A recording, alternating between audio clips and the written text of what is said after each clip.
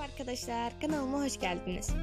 Yine sizlere güzeller güzeli oyuncumuz Yağmur Tanrı Sevsin ve yakışıklı oyuncumuz Gökhan Alkan'ın yer aldığı Kalp Yarası dizisinden özel ve güzel görüntülerle geldim. Umarım videomu beğenirsiniz. Yepyeni görüntülerden haberdar olmak için mutlaka kanalıma abone olup bildirimleri açmayı unutmayın.